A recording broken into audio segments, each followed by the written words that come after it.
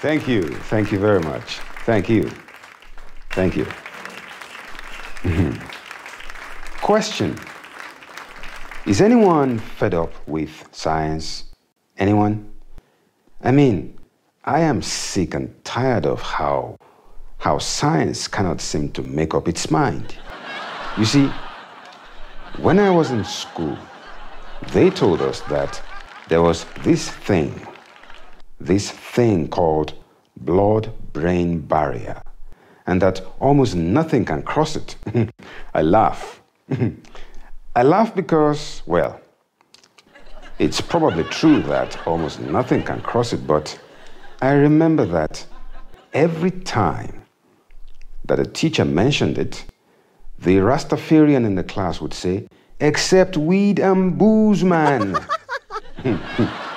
weed and booze. Kids, don't do drugs. Mm-hmm. As I was saying, they told us then that, that the blood brain barrier protects your brain from all kinds of bugs, including bacteria and even corona.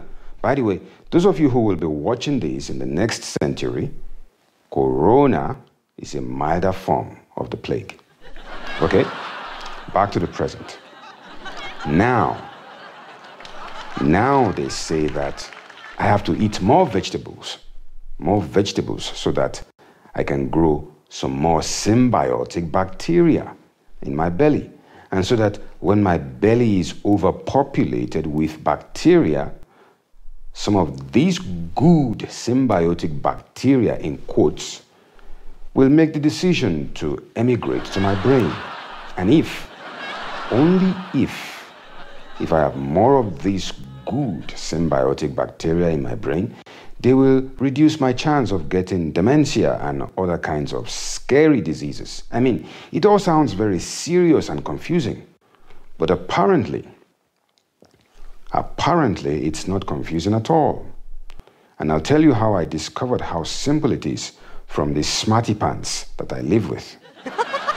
the gist of the story is that I am not as smart as I think I am, but don't worry, I'll explain it slowly. Are you a comic or not? Say something funny. Get on with it. All right, all right, okay, okay. Hold your horses. This is something serious, mate. Perhaps you need some broccoli? Someone, please, get the rude gentleman some broccoli, please. All right. Everything I have told you so far, I saw it on a YouTube video on my way home from work the other day. So when I got home, the boss sensed my annoyance and asked, What's the matter, honey? then I told her what the matter was. By the way, if you're still wondering why my boss is at my home, it's probably because you're single. You see, the boss is that person that you live with. And at the end of every month, they help themselves to half of your paycheck.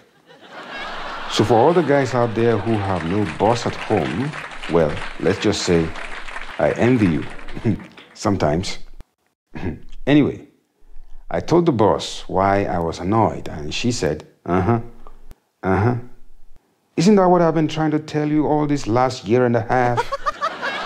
and I told you you need more vegetables on your plate? Didn't I tell you your poop was not the right color? My poop? What's wrong with my poop? I told you it's not the right color, she said. So who's right? You or me? Who's right? You're always right, honey. I grumbled. You're undisputed, honey. So there you go, in your face, single guys. Who's inspecting your crapper after you finish number two, huh? Huh? Nobody. That's who. One tiny victory for guys like me.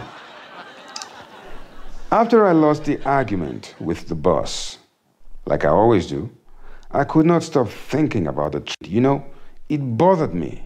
It bothered me because it turns out that science can also tell how old you are just by looking at your shit. and, and the population of good bacteria in your gut determines how young or how old your shit will be every day. And this also determines how much good bacteria will migrate, will migrate to your brain. Hmm. I mean, this implies that you could be a spring chicken but your toilet deposits are like those of an old hag. I mean, this is serious stuff. The longer you can keep your shit young, the longer you will live. Imagine if there was a race for the prettiest and youngest poop out there.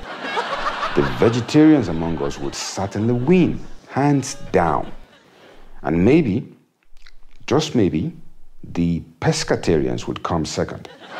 But people like me, people like me are doomed because we would finish dead last.